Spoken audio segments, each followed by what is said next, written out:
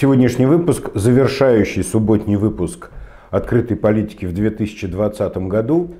Честно скажу, я нисколько не сожалею об уходе этого года э, в небытие в прошлое.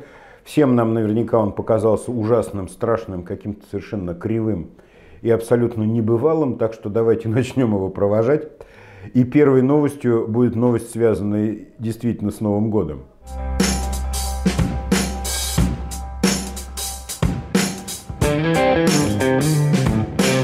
Можно было бы сказать, что Ради Хабиров внезапно объявил 31 декабря выходным днем, но это совершенно не так. Дело в том, что все предшествующие недели а, Ради Фаритович отказывался признать 31 декабря выходным днем, а, несмотря на обращение депутатов Госсобрания, всяких общественных организаций и вообще а, множество вопросов, связанных с тем, что на иных территориях 31 декабря уже выходной, а у нас все еще нет – Хабиров отмалчивался, отнекивался, и внезапно Владимир Путин э, в своем э, значит, общении, там уж не знаю, как назвать это, э, это все, вдруг говорит о том, что недурно было бы 31 декабря сделать выходным. И тут с Радием Фаритовичем случился тот самый анекдот про прапорщика, и он вдруг внезапно объявляет 31 число выходным. В общем, так или иначе, 31 декабря теперь официальный выходной – и надо сказать, это очень логично. С самого раннего детства я не мог понять, почему 31 декабря рабочий день, а все равно никто не работает.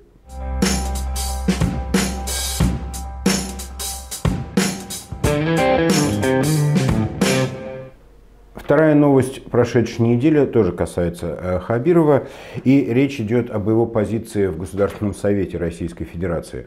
Очень многое путано это все обсуждалось на прошедшей неделе. То Ради Хабиров вошел в Госсовет, то не вошел в Госсовет, то вошел он в Президиум, то не вошел он в Президиум. Много было каких-то глупых пояснений, э, глупых вопросов не меньше было. В общем, ситуация следующая. Хабиров, как и все губернаторы, входит в состав Госсовета, это автоматически. Но в этот раз в этом составе Хабиров не входит в Президиум Госсовета. Президиум Госсовета Российской Федерации – это управляющий орган вот этого формирования под названием Госсовет.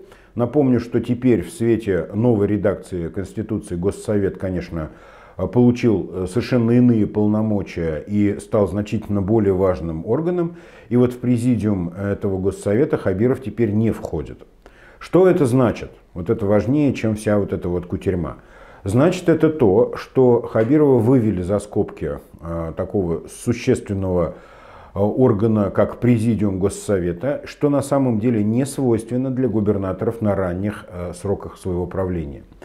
Э, всегда было принято так, что первый год, два, а иногда три, губернатор входит в Президиум Госсовета и имеет возможность прямого общения с Путиным, с там, значит, руководителями страны. Туда, напоминаю, входят все крупнейшие фигуры российской политики очень нетипично то, что ну, условно молодого губернатора, как говорит э, Путин, не принимают э, в этот орган.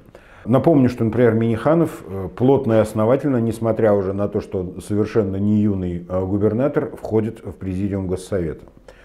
Во многом, конечно, этот факт и это событие с Хабировым говорит о некоторой преувеличенности федерального значения и влияния Радия Хабирова, которую ну, на всех углах провозглашают его пропагандисты. Но э, мы уже, наверное, начали основательно и обоснованно понимать о том, что действительно этому влиянию неоткуда было бы и взяться. Я имею в виду, так как Хабиров, в общем-то, никогда не занимал существенной федеральной позиции, э, ну, в силу своих должностей, да, то есть там какой-то там начальник какого-то там отдела, зам начальника управления в администрации президента, что, прямо скажем, невеликая должность, потом мэр э, заштатного подмосковного городка. То есть это вот ну, все не те позиции, чтобы человек мог набрать э, серьезное федеральное влияние. Вопрос только в том, э, насколько теперь Хабирову удастся это сделать. И вот отсутствие его в президиуме Госсовета, конечно, никак этому не способствует.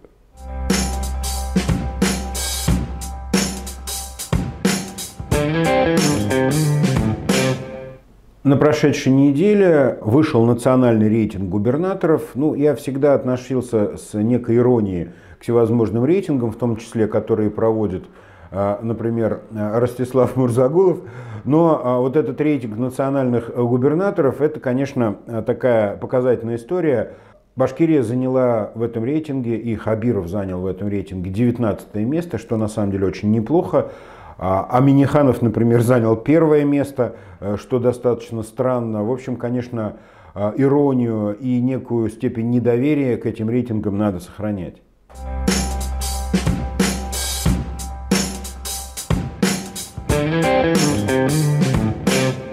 Заметным ньюсмейкером прошедшей недели стала прокуратура Республики Башкортостан. Сразу две такие существенные новости. Ну давайте начнем по порядку. Совершенно внезапно а, прокуратура подтвердила подлинность фотографии в Куюргазинском коровнике, тем самым опровергнув э, истерические заявления министра образования Хажина о том, что вы все врете и все это неправда. Я вот честно не понял, зачем это надо было делать, я имею в виду, зачем прокуратуре надо было уже было э, улегшуюся и успокоившуюся ситуацию заново поднимать. Но, как говорится, истина дороже. И тут, э, наверное, нужно отдать должное э, надзорному органу. Прокуратура поставила точку в этом споре. Господин Хажин абсолютно опозорен. Мы помним, как он там с пеной у рта и с какой-то нездоровой истерикой во всех доступных ему изданиях доказывал, что все это вранье. И даже несчастных двух тетенек из Куюргазинского района, из этой деревни, заставили извиняться под камерой, но это уже там, э, я так понял, Башинформ постарался. А теперь выясняется, что все это правда. У меня вопрос. Вот сейчас в России ввели какую-то там всякую разнообразную ответственность за фейки, за то, что там ложные новости запускаются. А вот это вот теперь не фейк вообще, вот эти заявления Ахажина и заявления Башинформа. Вот когда-нибудь кто-нибудь из них ответит за это, за эти обвинения, за эти авторитетные заявления. Вот э, целый министр нам рассказывает, что все это вранье и все у нас прекрасно. А потом надзорный орган, прокуратура заявляет, да нет, это все правда. Вот Айбулат Вакилович, вам не стыдно вообще вот за себя? Вам не стыдно за то, что вы пошли на поводу вот этих вот своих кураторов от информационной нашей политики и вот кинулись э, истерично заявлять то, о чем даже не понимали вообще? Ну, в общем, итогом всей этой истории стала петиция о отставке господина Хажина. Эта петиция сейчас набирает обороты. Боюсь, что, конечно, новогодний период не позволит ей набрать достаточно много голосов в этом году, но я думаю, что Э, Иван Апаев, который затеял эту петицию, он э, будет последователен и будет продвигать ее и после Нового года. Я думаю, что найдется огромное количество родителей, недовольных системой образования в Республике Башкортостан, и они с удовольствием подпишут эту петицию, и, возможно, ее даже увидит э, Ради Фаритович Хабиров.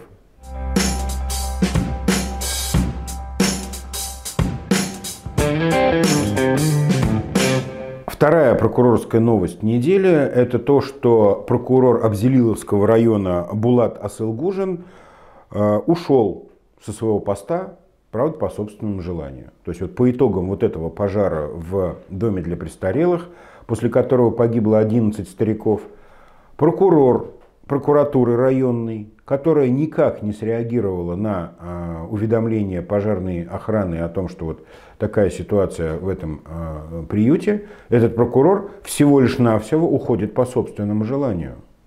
То есть не возбуждено дело в отношении него, не начата э, служебная проверка, вообще нету никаких подозрений, что этот прокурор в чем-то может быть виноват. Вот такое суровое наказание постигло должностное лицо за 11 трупов.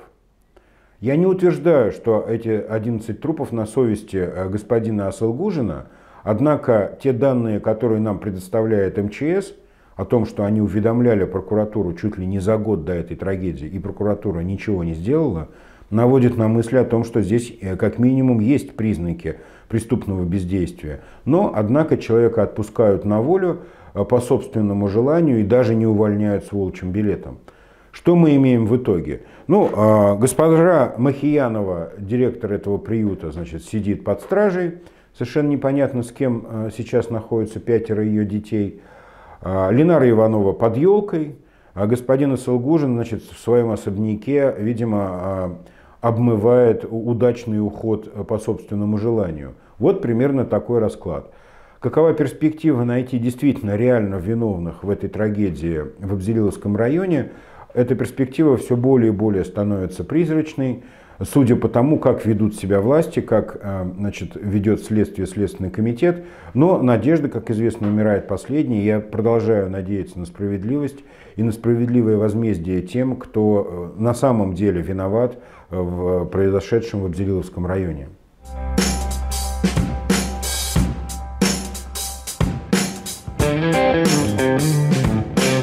На прошедшей неделе в медийном пространстве республики произошло, на мой взгляд, очень важное событие, которое, к сожалению, не все заметили.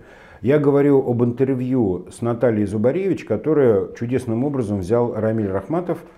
Рамиль, конечно, большой молодец. То есть добиться интервью с э, человеком такого масштаба, как э, Наталья Васильевна Зубаревич, это, конечно, дорогого стоит. Не буду иронизировать о том, как она на голову разгромила Рамиля в плане понимание, знание терминов там и понятий. Ну, тут, конечно, надо делать скидку. Рамиль совсем не экономист, а перед ним такой человек, который как бы разбирается, а, а, наверное, лучше всех в этой стране в региональной экономике и в региональных аспектах развития. Повторюсь, Рамиль большой молодец, а матчасть еще можно подучить.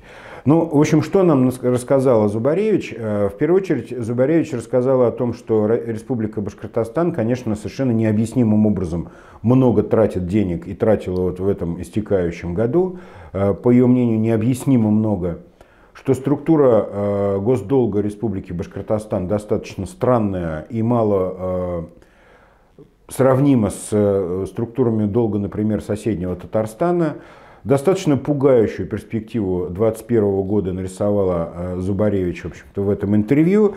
А что мне особенно бросилось в глаза, это то, что она э, недоумевала по поводу вот роста некоторых статей расхода башкирского бюджета, а практически все это интервью было именно о башкирском бюджете. Так вот, она упомянула, что у нас загадочным образом выросли траты на ЖКХ в истекающем году, на 21% выросли траты на ЖКХ, что необъяснимо на ее взгляд. А, ну просто, Наталья Васильевна, вы, наверное, не знаете, что такое башкирские дворики, а, что такое заборчики Киреева и всякая вот прочая вот эта вот бельберда, которая, собственно, является той самой вот этой э, темной кухней, на которой э, готовятся пироги с зелеными банкнотами Э, и раздаются своим, а они свои уходят по домам в слезах. В общем, конечно, вот этой отвратительной стороны э, нашей башкирской экономики Зубаревич, наверное, понять просто не в состоянии, но по статистике она недоумевает. В общем, посмотрите обязательно, это очень интересное интервью. Мы даем ссылку в описании, э, вот под нашим этим видео там будет ссылка на этот канал. Вообще канал интересный, затеяли его правильные веселые ребята. А, будем поддерживать, а, будем смотреть вместе.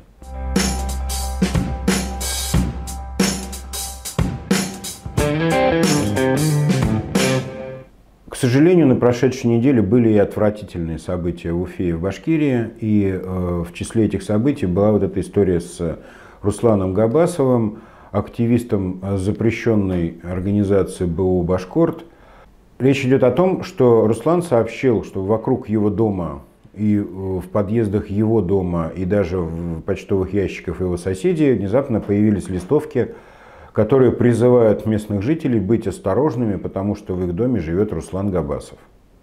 Вот буквально с фотографией, такая она с тревожным красным фоном. Ну, нельзя не заметить такую вещь. Эти листовки там изготовлены на каком-то достаточно э, приличном принтере и э, распространены в большом количестве именно вот в зоне проживания самого Руслана. Написано, что он там какой-то страшный убийца, насильник, там что-то, в общем, такое, в общем, ну, ужас, ужас, ужас. И все это ну, в отношении частного лица. Понятно, что это речь идет о какой-то совершенно нечистоплотной политической борьбе, о давлении информационном на вот этих вот активистов. В последние несколько недель идет обострение вот этой полемики в телеграм-канальчиках, которые приписываются э, господину Мурзагулову. Стилистика там весьма такая однообразная, очень агрессивная. Э, вообще мне непонятно, зачем вот это нагнетание э, конфликта, тогда как с противоположной стороны нет никаких в общем-то, движений в последнее время. И складывается ощущение, что Ростиславу срочно нужны опять враги, иначе начальство задумается вообще об его надобности. Однако об этом мы немножко поговорим чуть позже. Э, есть ощущение того, что э, внутриполитический блок администрации Радия Хабирова э, усиленно ищет себе оппонентов, чтобы ну, оправдать вообще свое существование.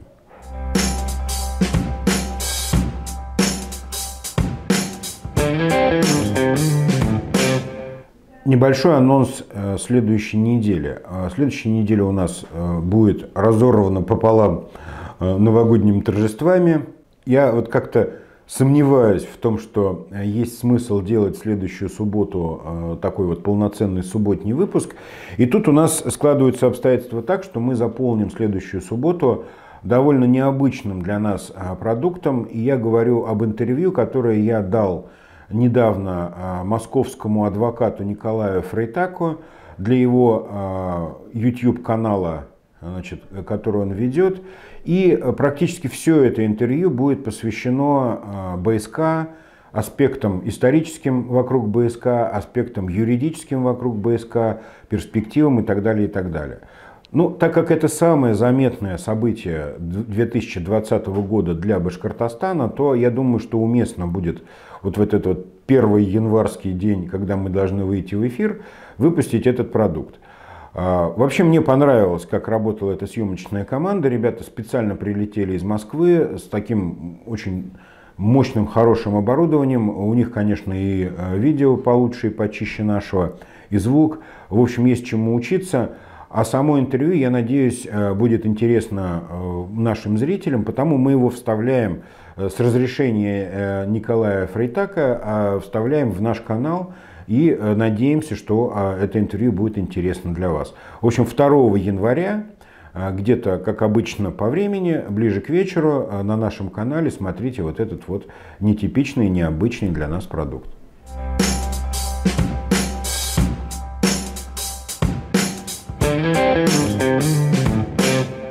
Не отпускает нас история с нашумевшим роликом Ростислава Мурзагулова меня очень забавляет, как работают счетчики на его YouTube-канале, особенно счетчики лайков и дизлайков.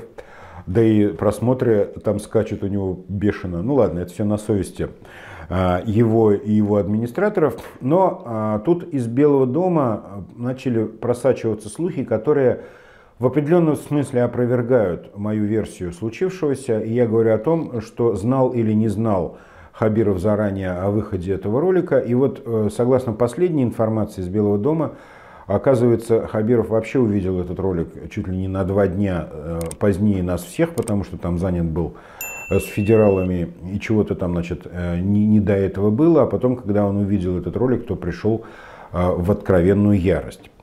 Если это правда, если эти слухи действительно достоверные, и это не попытка, значит, отгородиться от Ростислава, то это на самом деле очень хорошо, потому что это здоровая реакция вот на то, что произошло. Однако печалит совсем другое.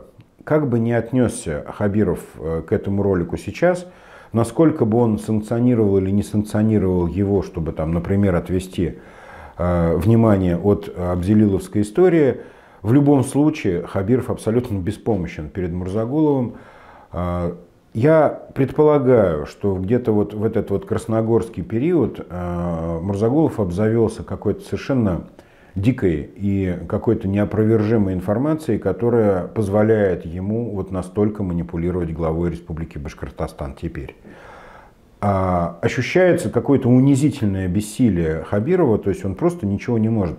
И даже страшно предположить, что следующее выкинет э, Ростислав Равкатович – Э, ну, там, пытаясь самоутвердиться там, в глазах населения или там, своих близких там, или каких-нибудь приятных его сердцу дам, я не знаю, потому что этого наверняка не знает и Хабиров, то есть вот это-то и пугает. А вот э, та унизительная позиция, в которую поставлен сейчас глава региона относительно вот этого, в общем-то, даже э, ну, в государственном смысле э, не человека, я имею в виду Мурзагулова, он же какой-то общественник там, и вот так вот он себя ведет, и вот так вот, вот он манипулирует э, государственными людьми, это по меньшей мере странно, а по большей мере опасно.